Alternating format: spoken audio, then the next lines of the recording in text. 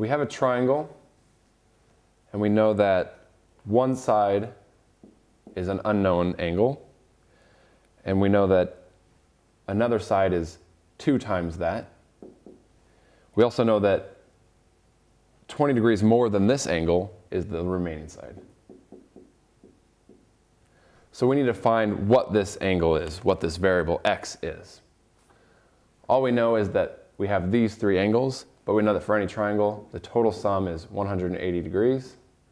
So we can set that equal to the sum of all of these. x plus 2x plus x plus 20. So we can simplify.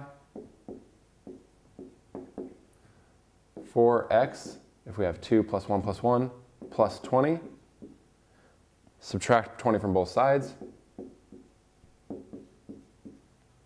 We get 160 degrees equals 4x. Then we can just solve for x by dividing both sides by 4.